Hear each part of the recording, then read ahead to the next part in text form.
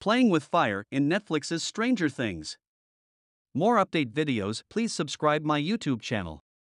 Many of the presentations at IBC 2022 have been highly popular affairs, but a clear standout on day one was a completely compelling presentation in the Showcase Theater, creating visual effects for Netflix's Stranger Things. The presentation focused on the work done by Accenture Song for Netflix's Stranger Things Season 4, specifically around the VFX work to bring the main antagonist, Vecna, to life on screen.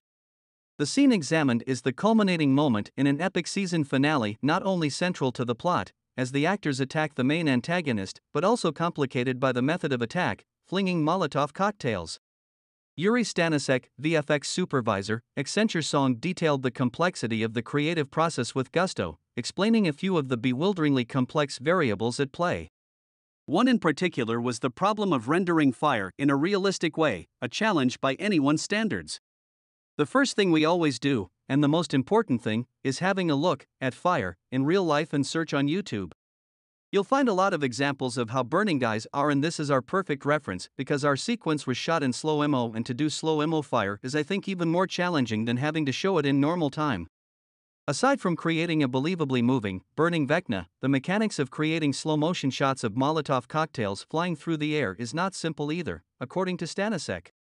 You have to make the most complex Molotov cocktails ever. Yeah, you're laughing, but it's really not that easy to have a bottle with liquid in it, thrown through the air, getting everything to work really well.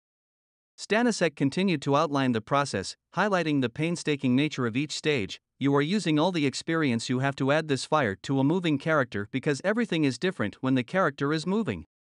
Therefore, we started to make different setups with different brightness, we added embers to the smoke and made the fire grow.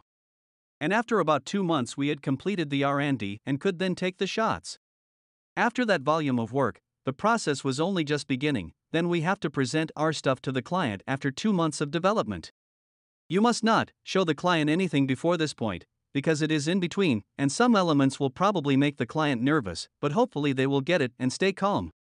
For more show news, including product launches and interviews with key exhibitors, check out our channel. Thanks everyone.